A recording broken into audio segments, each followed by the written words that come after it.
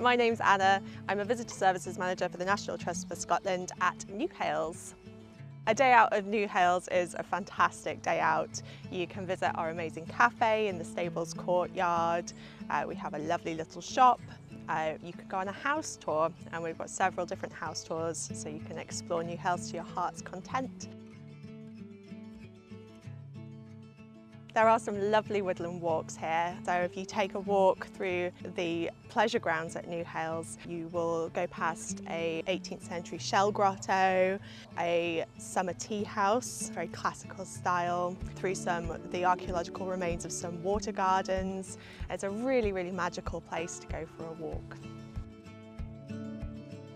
I also really love the house. I love the history of the house as well. We've not made any major interventions into the house. It's almost like the family have just walked out and you've just walked in again.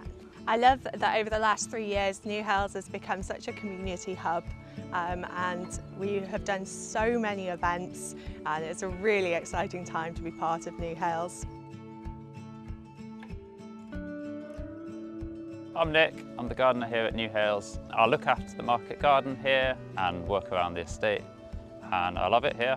We try and do like nature-friendly garden practices. So we use a lot of like mulches to boost carbon content in the soil and we just grow quite a wide range of flowers for pollinators along with our vegetables and other plants.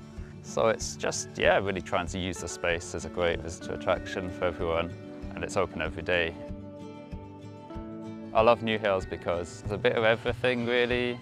You've got like nice gardens, nice walks around the estate, really nice cafe and like history tours and just feels like a really nice hub and a really nice centre. And it's on, it's on like Edinburgh's doorstep.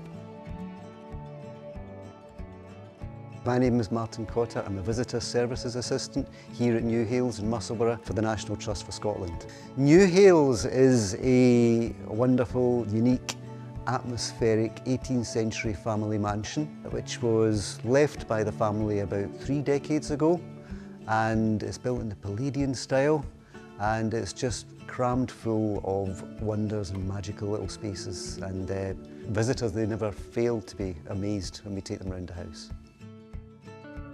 My favourite thing in the house is probably not actually a physical thing, it's the reaction of the people. That when you're taking them around the house, you know, you, you see them up close, you see them having the same kind of reaction that you did when you first came to the house. And sometimes it's a room inside the house, sometimes it's actually just looking at the outside. Other times it'll be the, the, the story of the family, because the family history is absolutely fascinating for the Dalrymples. And yet at other occasions it can be just a small item, a small possession that the family have left behind.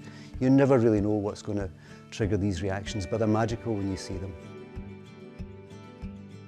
I love this place because I just love being associated with the place. I think it's a real privilege. I've done a lot of research into the family and the history of the location and of the house and actually physically to be here, you know, day in and day out, just working here and seeing some of the wonders that exist inside it, it's just a privilege.